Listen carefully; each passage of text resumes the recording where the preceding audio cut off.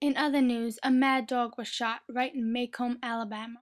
Just last week, Tim Johnson seemed perfectly fine until earlier yesterday when Calpurnia spotted this mad dog running straight for Maycomb County. Then Atticus Finch, also known as Old One Shot, came to save the day. When Tim Johnson was spotted by Calpurnia, Huck Tate was immediately called, and so was Atticus. When Mr. Tate gave Atticus the rifle, Atticus Finch knew he only had one shot to kill Tim Johnson.